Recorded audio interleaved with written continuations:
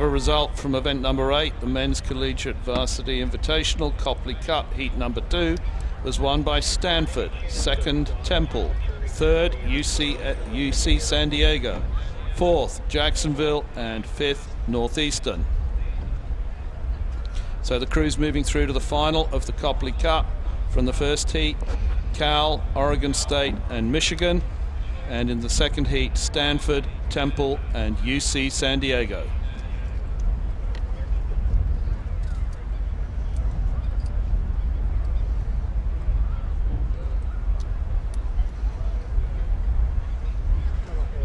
The Cushman Wellness Center at Sharp Memorial Outpatient Pavilion offers customized health appraisals designed to help you prolong your good health. Call 1-800-82-SHARP or visit sharp.com slash Cushman to learn more. Sharp Memorial Hospital. Thank you, Lots of Pasta, for a wonderful pasta dinner last night. Lots of Pasta has a variety of delightful handmade fresh pastas and sauces crews, teams, families, and friends. Whether you're looking for a workout fuel or a great meal, Lots of Pasta is the place to go. Lots of Pasta, located just blocks away on Garnet Avenue in the Vons Shopping Center.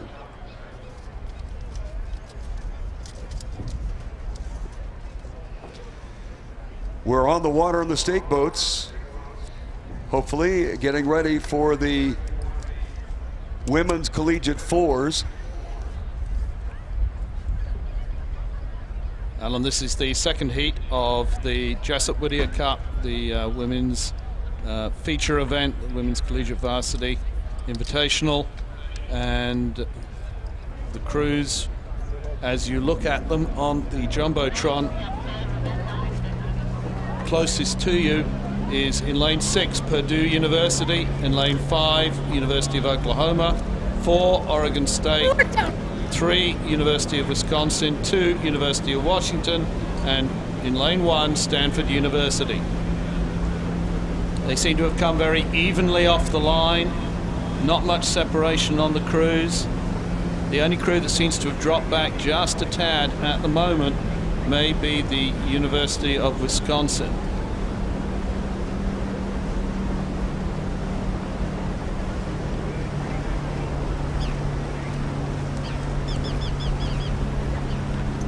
As we come down into the second half of the first 500.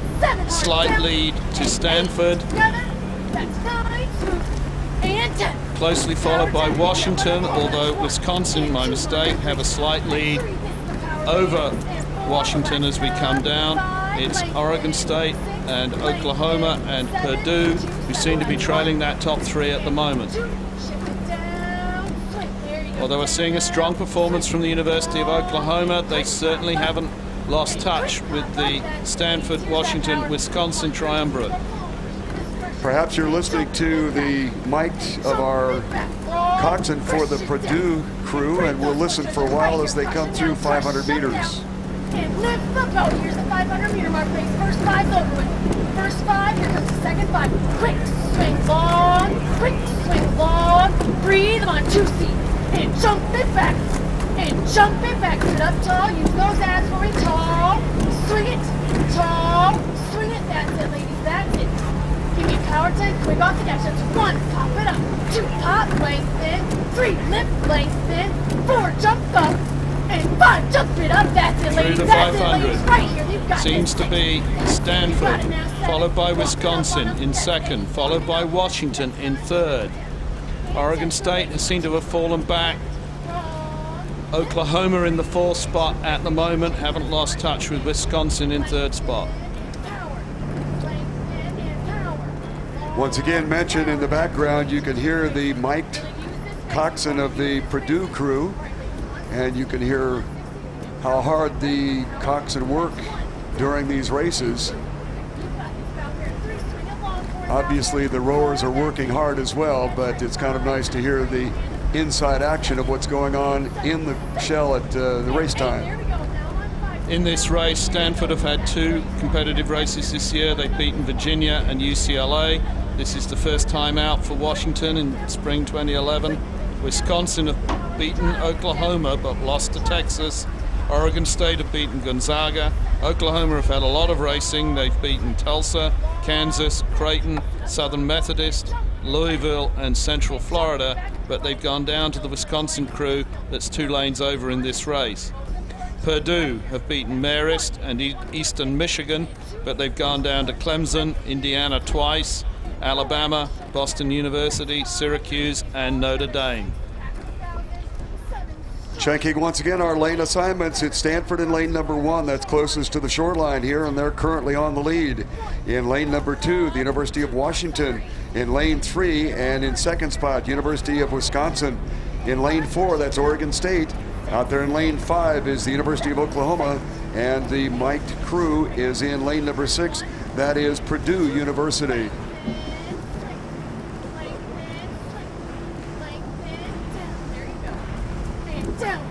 With the winds continuing to be somewhat light and variable, it's not quite a problem as they're coming through the Ingraham Street Bridge area.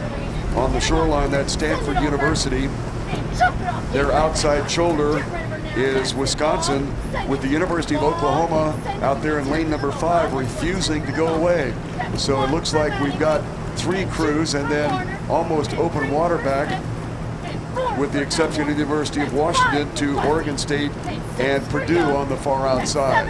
Yes, it looks as though Stanford have got this race well under control.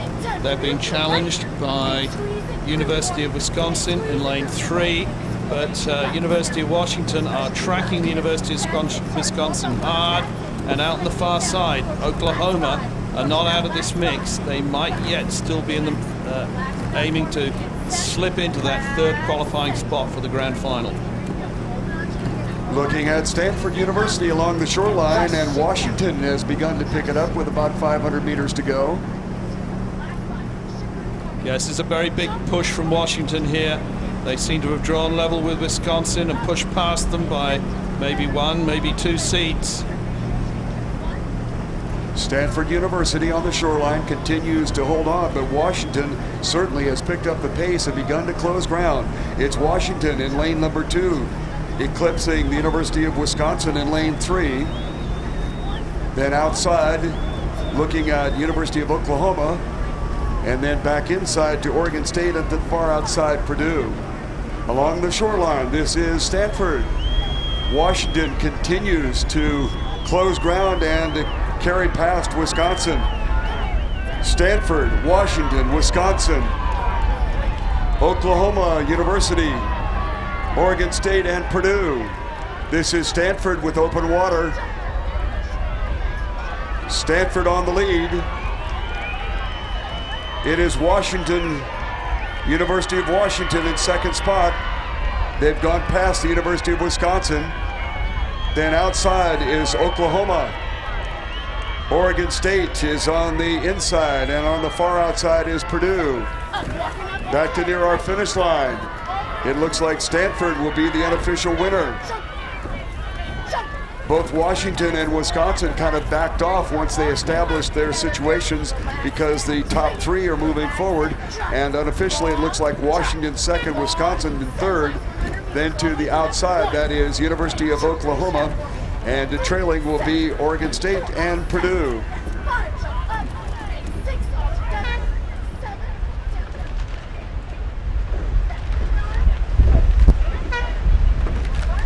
Once again, the unofficial finish for the second heat of the Women's Collegiate Varsity Cup, this being the Jessop Whittier Cup. And moving forward, apparently, will be Stanford, University of Washington, University of Wisconsin, followed by University of Oklahoma, Oregon State University, and Purdue. Upcoming in the program is a new event for this year. Actually, there are several new events this year, but this is the first of the new events this year.